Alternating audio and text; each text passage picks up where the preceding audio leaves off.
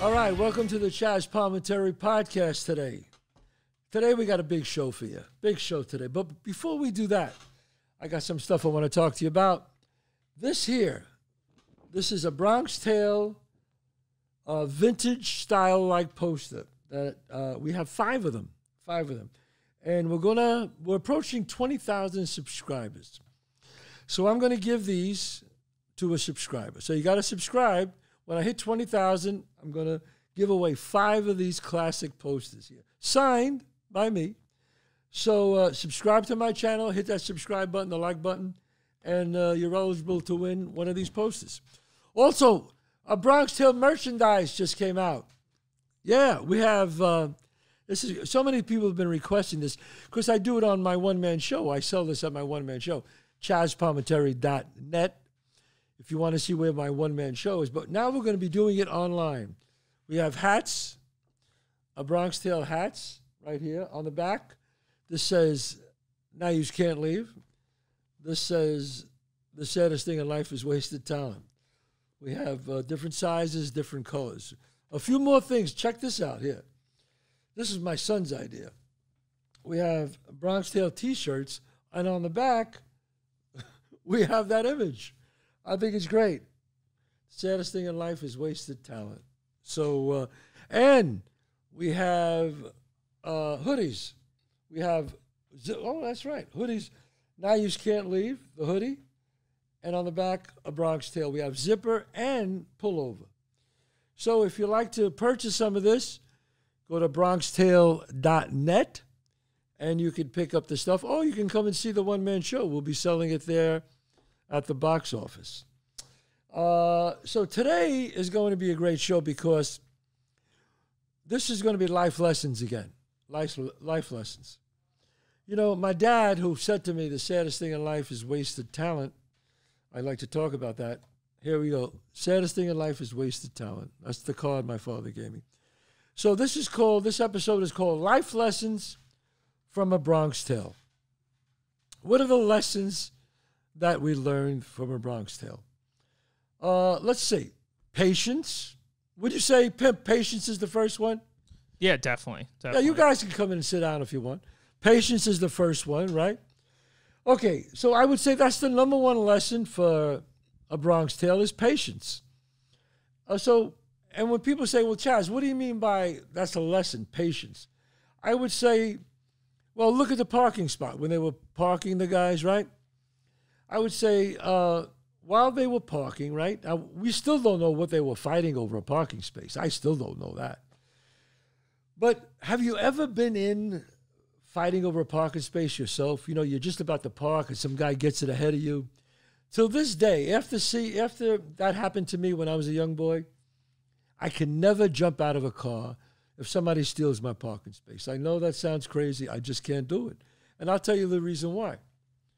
Because 10 seconds of patience could save a lifetime of misery, if you know what I'm saying.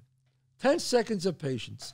And what I mean by that is, and not just for a parking space, how many times you're with your wife, your kids, and somebody does something stupid and you're about to like crack somebody or really get upset.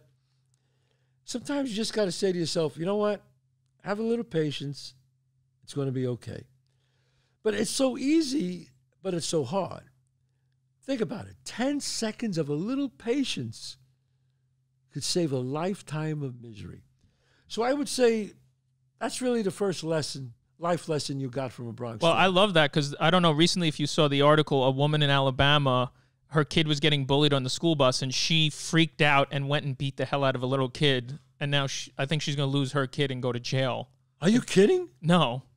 So if you're just patient through every situation, maybe you won't Wow. uh, lose everything. Now, if she was just a little patience through that, uh, it would have been fine. I mean, look, she, a kid was getting bullied. That's a serious thing. I, I admit that. But Jesus, God, what she did was out of order. I mean, that, you can't do that. But again, if she had some patience, everything would have been all right.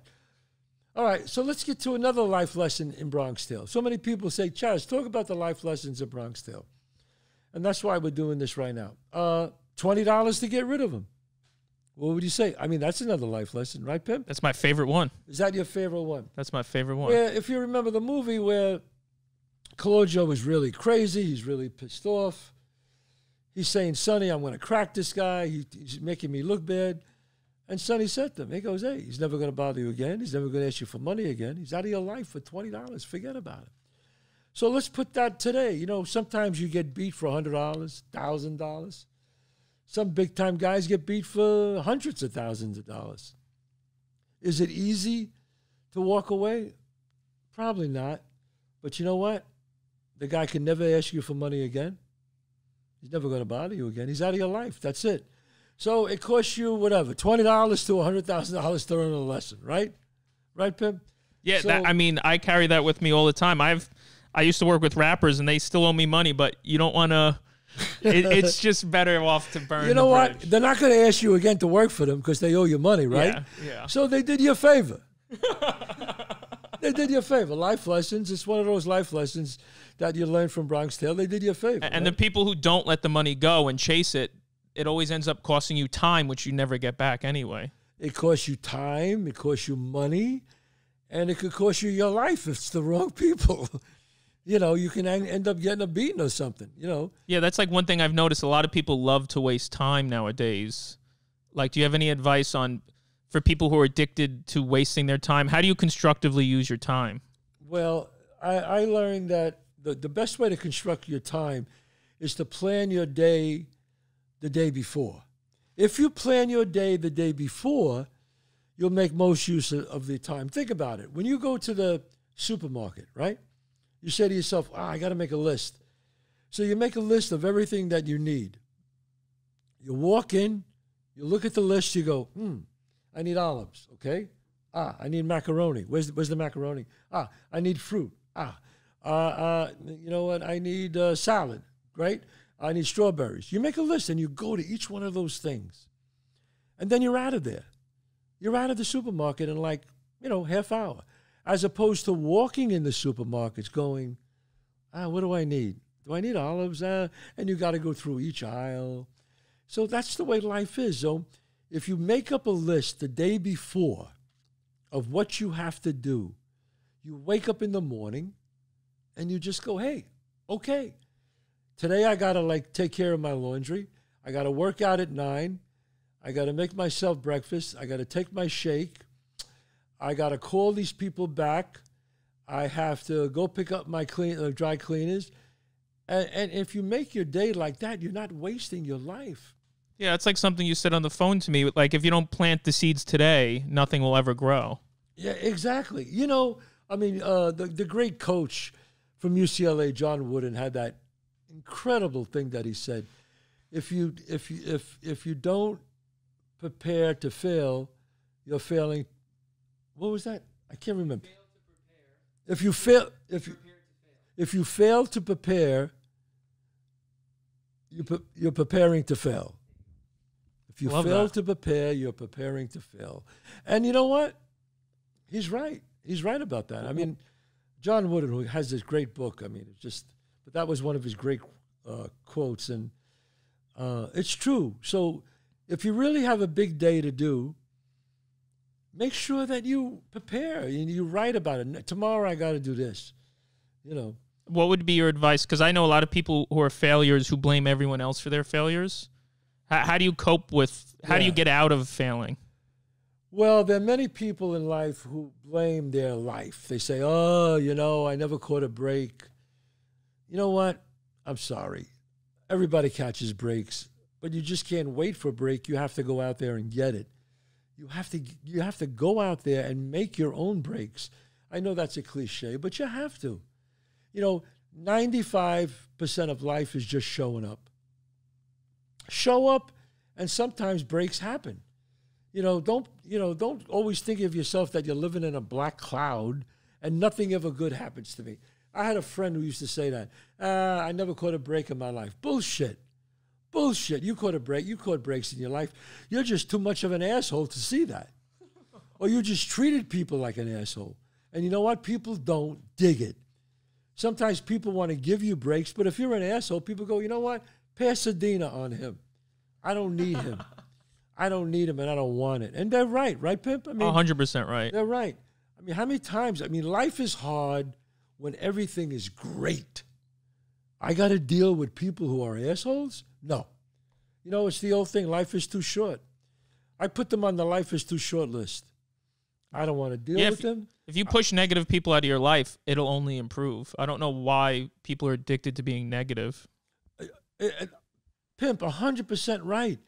Negative people are infectious. It's like it's like COVID. It's like a disease. You get that shit near you and you know, it's the thing I said on many other episodes. I said, always remember, you can never bring somebody up in life. Never. But the opposite is not true. Someone could bring you down in life. So what does that mean, folks? That means the negative is is obviously stronger than the than the positive. Believe me, I come from 187 in Belmont. There was a lot of fucking negative people there. Negative guys who will take you down. And when a guys when, guy, when my friends used to say, "Ah, come on, Chazz, don't worry about it." When they say the words "don't worry," that's the time to fucking worry. that's the time to worry. When street guys they say, "Don't worry," please that's the time you got to worry the most. Yeah, were the wise guys like negative or were they always kind of optimistic? Well, you know what? Most of them were negative. Most of them were, but but like a guy like Sonny, he was positive. He was positive. Well, he was a boy, so I guess that's why. Yeah, I bet. he had money coming in, so he didn't give a shit, you know. So, but but that's a good. Uh, li- that's another. That's a very good life lesson. Listen, uh, another life lesson uh, is in Bronx Tale is peer pressure. When you say that, Pimp, peer pressure. That's just another life lesson in Bronx Tale. Like I always tell people, and people know that in Bronx Tale when I wrote it, uh, when they when they pulled up in the car, I never got in the car. The truth is, I embellished that that Sonny pulled me out. But what really happened was I never got in, because I remember when they pulled up, they said, "Hey, AC, come on, get in." And I looked at the car and I didn't recognize it, and I put my foot in the car door and I said, where'd you get the car? And they said, no, no, we, we borrowed it. And they all started laughing. I actually put that line in the movie. But I smelled the gas and I said, no. And you know, I, and they were going to call me a punk, a chicken, a dog. But I thought of my mom and dad and I said, you know what? I'm not going in this car. And I didn't. And you know what happened? I mean, obviously they died. Now, if I would have felt the peer pressure, that would have been it. I would have been like done. Okay. Well, what what ruins more lives than peer pressure? Probably Nothing. Nothing. Nothing. And, and you know what, Pimp? And you would talk about this better because you know more about it than social media than I do. But talk about these kids today with peer pressure. I mean, I think everyone's a victim of peer pressure, even to get married, even to have this union job. Everyone pressures you into doing everything in life. So you're always a victim of peer pressure. These little kids, it just came out now that Facebook is fully aware of how negative Instagram is on the teenage mind and that people get stunted and they won't grow past their insecurities because of Instagram. Wow. I didn't know that. I mean, so you could actually say that the internet is actually bad for these kids, right? Oh, yeah. Oh, yeah. It's a drug dealer. The internet's a drug dealer for ego. A drug dealer for ego. Wow. Pimp, I like that. That's Homeless Pimp, who's my producer, and he is just, you should check him out on his website and his Twitter. He's terrific. And, uh, you know, that's so true. And so, so some of these kids, I've seen kids where mothers go, my child won't come out of the house. And I say, why? They say, Chazz, could you talk to her? She's 14 years old. And I say, wait a minute, I, I'm not her father. What about you and what about you and your husband? They say they they were bullying her or bad mouthing her on Instagram and Facebook. She's depressed. She won't come out of the house, pimp. I mean, come on, guys. I mean, and that's what happens. They push, you get so isolated and you see everyone else having fun, but nobody's really having fun. They all want you to feel like they're having fun. It's a trick, it's a card trick. Wow. But you know what happens to these kids? And I tell all the parents out there, if you have kids this age, is is you, please don't don't let them get on this thing. Look, do I use the internet? Of course I do. Do I I go have Instagram? Do I have a website? Yes. But you know, have people said bad things about me? Of course they did have. I've been re- I've been in, I've been famous for 35 years. I've been reviewed, I've been praised, and I've been slaughtered. But that's the way it goes. Yeah, people absorb too much of this now. Don't absorb other people's energies. Don't absorb other people's energy. I think you're right. And you know what? That's a great thing, uh, uh, Pimp, because that brings us to another life lesson. And what that life lesson is, what did Sonny say in Bronx Tale? Nobody cares. Nobody cares. That's what really, really counts.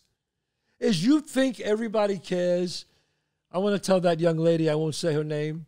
Do you think people really care about this and about uh, your friends don't want to talk to you? That's bullshit. In the end, nobody cares, right? So live your life and don't worry about bullshit like that. Nobody cares. And, and it's true. How many times have I said that? What are you worried about? Nobody cares. It's true, man. It's the I live my life with that in my head, thanks to Sonny. Yeah, I mean, O.J. Simpson two, killed two people. He's walking around playing golf. Nobody gives a fuck. Right? It's so true, man. It's Nobody cares. They got killed two fucking people. Nobody cares, folks. And you're worried about because you said something and people are worried. Come on, stop it. yeah. Everyone, some people just let themselves live in this box of they're be, afraid of being judged. They're afraid of being judged. That's right. You're right. I mean, I mean, look at TikTok. Oh my God. I mean, you got these people on it. They're famous for being famous. they have 60, 80, 90 million followers. That's insane. I'm not putting him down. And I'm look, you know, you people would say, "Oh, sour grapes, Chazz, you're jealous." Of course not. Of course I'm not jealous. I'm saying, great, but you know what? There's going to be a time when that's not there no more. So you're going to have to stand on your own two feet. You're going to have to stand on your own talent, what you have. It's great to be on TikTok. It's great to have 90 million followers, but everything changes. Everything. If I ask a young kid today, who's James Cagney? Who's Humphrey Bogart? Those were the biggest stars in the world at one time. You know what's go- somebody going to say? Who are they? Who's that? And that's the same thing that's but you know what? But they have their movies to live on. A lot of these TikTok people, you know, in 10 years from now, what are they going to have? They're going to have a lot of money, and that's okay. And I hope they save their money and they do very well. And I don't begrudge them that. I look at the, the Kardashians. Hey, people put them down, but you know what I say? Great entrepreneurs. Oh yeah. Great entrepreneurs. They took the, they took that, that that thing and they ran with it. They built a, an incredible dynasty. They're all very wealthy, and I say, uh, hats off to them. Yeah, and they changed the world. Every program now is a version of their show. Absolutely, and they changed the world. And you know what? In five, ten years, whatever, when when it's gone, they'll be happy and they'll move on to other things. So I, I tell the TikTok generation and the internet generation, if you're fortunate to make money, put it away. Because you know what happens to, there's like five versions of somebody who's famous. Okay, and I'll, I'll use myself as an example. Okay, every actor starts off with five. It starts off with five phases. Here's the first phase. Who's Chazz Palminteri? The second phase. What's Chazz Palminteri's availability? The third phase. I must have Chazz Palminteri. The fourth phase. Get me a young Chazz Palminteri. The fifth uh, phase. Whatever happened to Chazz Palminteri?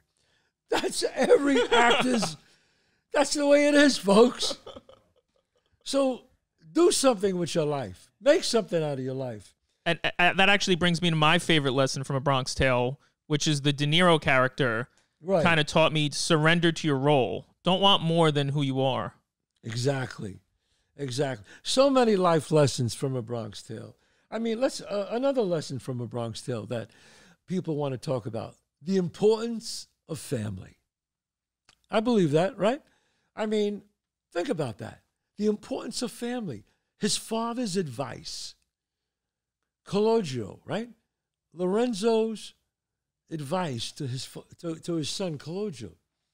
The working man, he's the tough guy. Think about that. That's one of the resident. Uh, that's that's a line that just resonates through the whole movie. The working man's the tough guy. That's what Lorenzo said. It doesn't take much strength to pull a trigger, but try to get up every morning and go to work for a living. That's a tough guy. That's a hero, not a guy who's just some wise guy. Okay.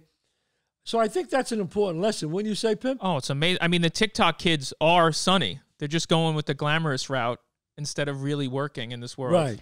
That's true. I mean, look, the glamour, glamour is, uh, it's great, but you know what? To be famous for being famous, I think you got to do something with your life. Now, if you just want to collect as much money as you can, uh, then I guess you achieve something. But also, you you've seen top level fame. I also believe fame is there's it's empty at the top. You chase it and then there's nothing there. Well, it's that thing. What fame is fleeting. You know, fame is fleeting. You know, you see, I take my work seriously, my acting, my writing, my directing. But my advice to people is take the work seriously. Don't take the fame seriously. If you take the fame seriously, it will come back to bite you in the ass because nobody's famous forever. And sooner or later, if you start believing all the things you're reading about how great you are, when you read about that one thing that somebody says that's bad, I notice artists, you can read a hundred things that are great. You read the one thing that's bad, that's the one you focus on. Yep. That's just the way the mind is. Every time, every time. Every even, time. even these poor teenagers, they don't listen to all their friends saying you look great. They listen to the one bully in their class commenting you're ugly. bullying. Oh my God! I mean, you want to talk? I mean, we. I know I did an episode on bullying, where, you know, especially on internet, the internet bullying is terrible, right? We're in a golden age of bullying. This is like the this is like the steroid age of bullying, Yeah. right? All these kids they write and. Your, your children cry, and your son or your daughter, they said these things about me. You know what I got to say to them? Please, and tell them, nobody cares. It's bullshit. It's all bullshit. Nobody cares. I mean, we, we have these old school episodes, you know, that we're going to be having more of. And you talk to these old school guys, and they're all the same. They don't know about the end. They don't give a shit, you know. But they, I talk about them and their children, and they say, yeah, the kids, you know, they're all into this, you know. Um, all right, let's get a, another lesson from Bronx Tale. Is it better to be loved or feared? That's a good question. It's a hard one. It's a hard one. Well, I always say if you're Sonny, I guess it's better to be feared. If you're Lorenzo and his family, if you're a normal person, if you're Chazz Palminteri, if you're homeless pimp, right? My son, Dante Palminteri, all of you guys, it's better to be loved. Always. It's always better to be loved. But I guess if you're in Sonny's world, it's better to be feared. When you say that? I mean, for him, yeah. I mean, anyone in a position of power, you want to be feared, but then you're isolated. You're isolated. you're an That's correct. observer. You're not living. And then who do you trust? Nobody. Nobody. See, that's the problem when you're on the top. Who do you trust? You start to get paranoid because, especially in that position, in, the, in that in the mob circles, who gives you up? Your best friend. Like they say in Goodfellas, they don't come at you with, with bats and guns. They come at you with a smile. Remember that in Goodfellas? Always. They come at you with a smile because you know you you're, you're looking to get somebody's looking to clip you, so you don't trust anybody. But who do you trust? You trust your friend. And you would think enough guys would know that. but that's how devious this world is, you know. Everyone thinks it's different for them. Everybody thinks that they're going to be different. I mean, why would you want to be a wise guy? You put a target on your back, really. I don't know. The same for the TikTok kids. I, I wouldn't want to be them. It sounds like a prison. Well, yeah, but I mean, but at least they're making they're making a lot of money. So were the wise guys. That's true. I didn't think of it like that. So were the wise guys. So we got that life lesson out of the way. Is it better to be loved or feared. My favorite one, uh, the life lesson is you get a few great ones. Oh, that's a great one. Now, I, you know what people say, Chazz? Well, how do you know it's only you get three great women in your lifetime? Because I, you know how I got that from by speaking to people. I, I used to ask guys when I was younger, and Sonny was the one who said that. Like, how many times you've been in love in your life? Think about it. How many times have you really been in love in your life? Just count it. Once, twice, three times, maybe three times. If you're in love, if you say, "Oh, I've, I've been in love eight times," then you're full of shit. Then obviously you've never been in love. You don't know what love is. But I would say, like Sonny to Calogero, you get three great women in your lifetime. That's it. That's it. They come along like the great fighters once every 10 years. I'm doing the play over It's here. so great. It's such a great line. It's such a great line. They- You know, they come along like uh, the, the great fighters, you know? And he, he tells them that. So he says, when you, f- one thing I, I, I learned about when you meet a great woman in your life or a great guy, I tell the ladies out there, don't be so easy throwing them away because you never know when love might not come back. Don't be so easy throwing love away, pimp. You never know when that love might come back. There's there's something to the rule of threes. I feel like everything in the universe loves three. Even storytelling is threes, beginning, middle, end. Even storytelling, yes. Beginning, middle, end. Yeah. Even comedies in threes. Everything's in threes. Comedy's in threes. The universe loves three. The universe loves threes. You're right. I like that. Um, let's get another. Uh, let's get a few more before we uh, end this. Uh, availability. Availability. That's another life lesson. Now, when I say availability, what do we mean by availability? That if you're a boss, not necessarily, you don't have to be a wise guy. How it is when, I'm sure you own a restaurant, if somebody owns a restaurant, a bar, uh, a diner, you know how it is when the boss not there. When the boss is not there, nobody works the same. I'm sorry. I don't give a shit what you think. Oh, I got a great manager. I got great people. I'm sure they might work great, but they don't work like hell when the bo- if the boss is not there. So, availability. If you own a company or you own something, you, you got to be there. You got to be there as much as you could. Availability.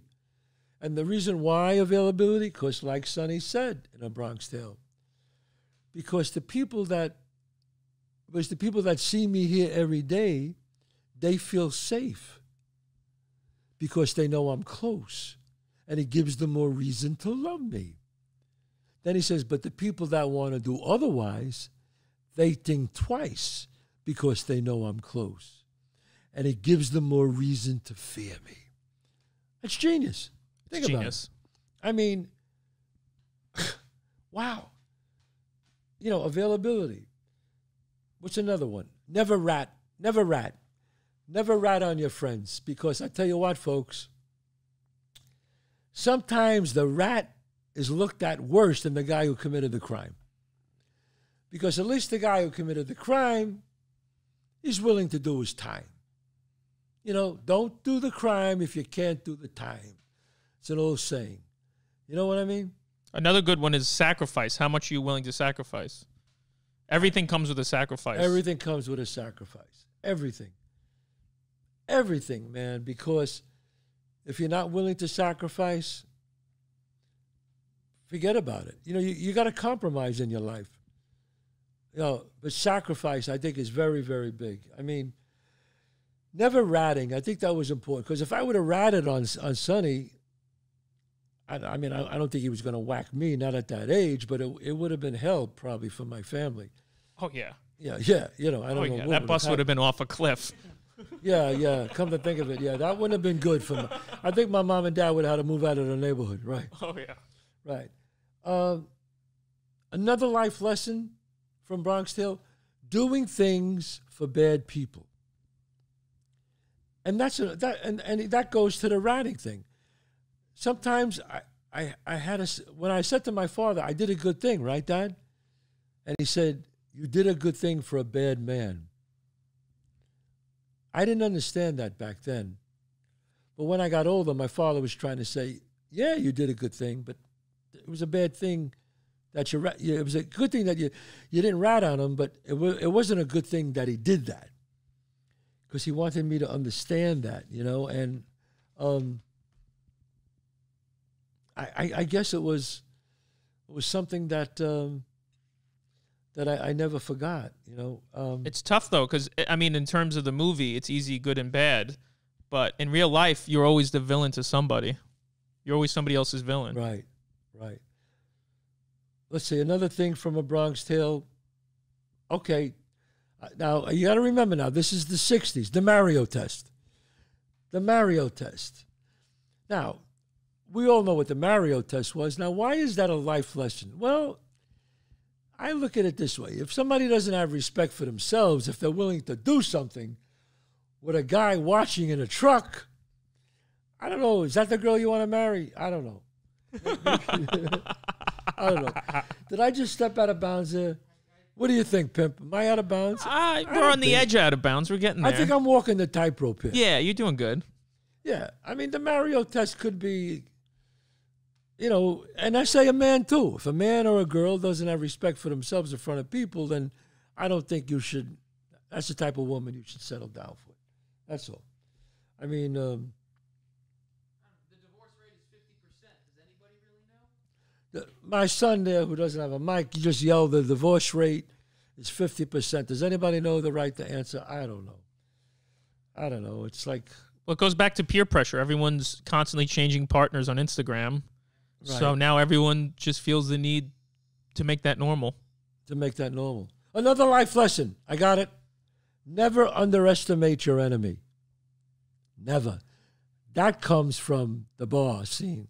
The bikers walk in.